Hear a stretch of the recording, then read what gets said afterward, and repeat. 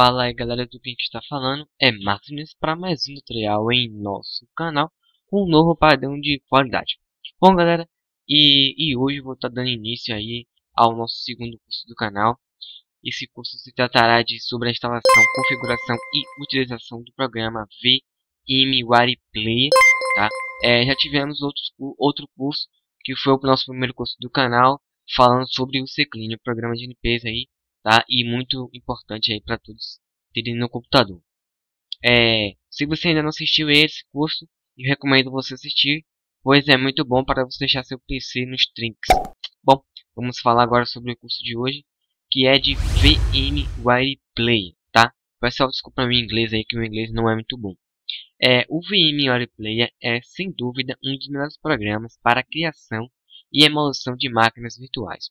O programa possui diversas qualidades diferentes que fazem dele um ótimo aplicativo para que você possa rodar outros sistemas operacionais dentro do Windows. Para começar, a interface é extremamente simplificada e fácil de usar, permitindo até os usuários mais leigos é, consigam manuseá-los sem nenhuma, sem nenhuma dificuldade. É, tudo que você precisa é do CD de instalação do sistema operacional que vai instalar ou então de uma imagem ISO e seguir os passo a passo da instalação do sistema operacional.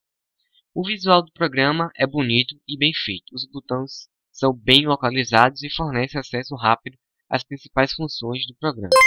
Com a criação de uma nova virtual ou a abertura de uma nova já existente. Todo o processo de instalação de um sistema operacional é muito simples e você é acompanhado por um tutorial o tempo todo, mesmo que seja em inglês. Você conseguirá acompanhar é, todas as informações do processo, finalizando com rapidez e agilidade.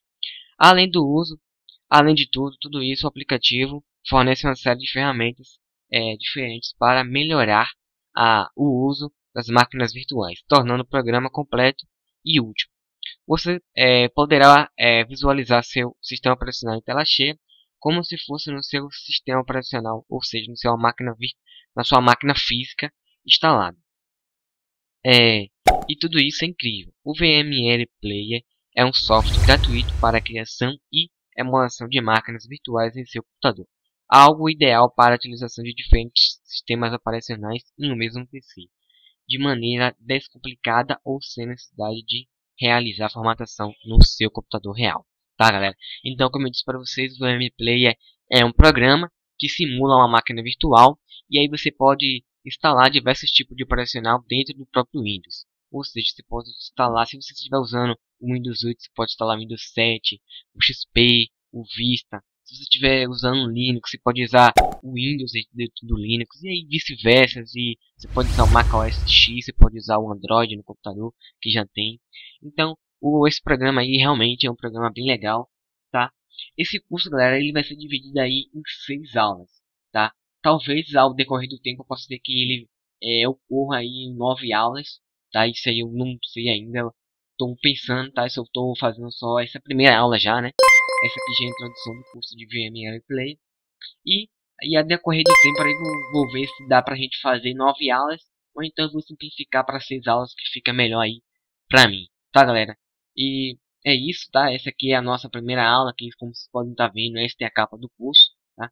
Curso de VMware Player, aula 1, introdução ao curso, tá pessoal?